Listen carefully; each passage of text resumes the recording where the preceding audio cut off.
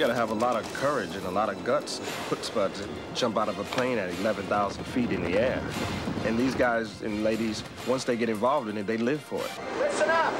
We've got a hole and we're nowhere near that antenna. I think a lot of the stunts in this movie were things that Guy Manos and all of his skydiving buddies, you know, sat around and fantasized about. We're landing on rooftops, cutting away mains, wrapping parachutes around people.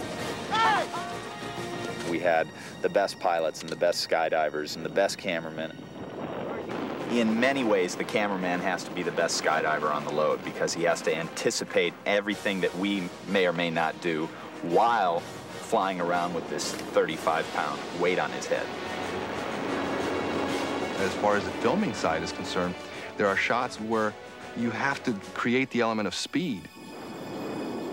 One of the most dangerous shots in the movie is a shot where I am flying inverted, looking up, and at my signal, Guy dives at me, and he's gonna pass camera about three feet away, and he's gonna be going about 80 or 90 miles an hour in relation to my rate of fall.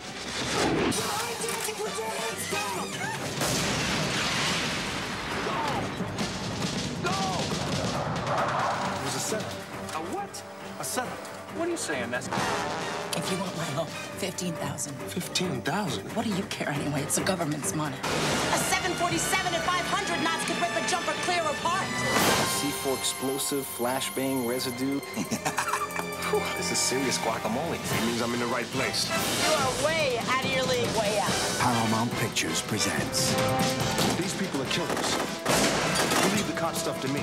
The year's most exciting thriller. I'm not gonna find who I'm looking for down here, right? So I gotta go up there. Stage one is complete. Stay focused. Okay, we're into the game. Five minutes to exit, right on schedule. Wesley Snipes. Well, the schedule's gonna change. Drop Zone.